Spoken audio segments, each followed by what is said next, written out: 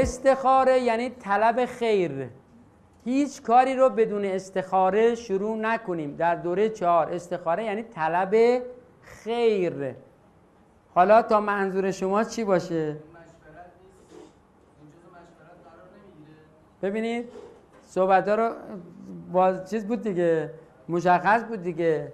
بنابراین شما می‌خوای بار مسئولیت رو به دوش کی بندازی؟ اینو برای من بگو. مثلا شما برای یه ازدواج ببینید شما برای ازدواج میاد این کار رو می‌کنید درست شد یا نه؟ الان دم در دادسرا اگر شما آمار بگیرید از تعدادی که هستن درصد قابل توجهشون این کارا رو کردن. خب مسئولیتشون با کیه؟ کی مسئولیت اینا رو به عهده می‌گیره؟ دقت کردین؟ ولی کسی که این کارو نکرده میگه خودم کردم. مسئولیتش خودش به عهده گرفته اما الان نمی‌دونه یقه کی رو بگیره. دقت فرمودین؟ اون بالا مطمئن باشین مسئولیت به گردن نمی‌گیره. که نمی‌گیره که نمی‌گیره. میگه می‌خواستی چشم تو باز کنی تحقیق کنی مطالعه کنی چیکار کنی بسیار کنی. قبول یا قبول درسته؟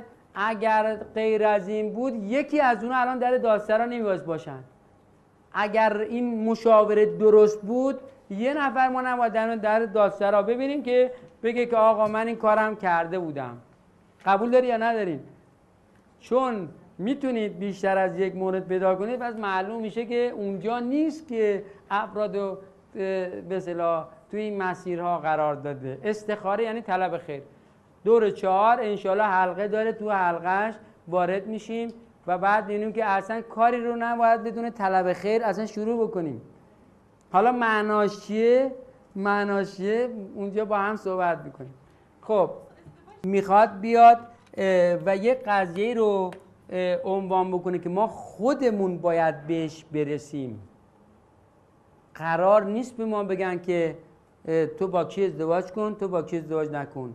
برای اینکه همه مقوله هاش مقوله است که باید از اینجا تعریف بشه. تمام پدیده هاش باید اینجا تعریف بشه. ولی نتیجه که به دست میاد ببینید مثلا ما میگیم با به صلاح وحدت. وقتی میگیم وحدت درش درکی نداریم. مسئله که کمک می‌کرده قرار بوده کمک کنه مثلا یکیش ازدواج بوده مفهوم یکتایی مفهوم آب. کسرت در وحدت رو انسان تجربه بکنه.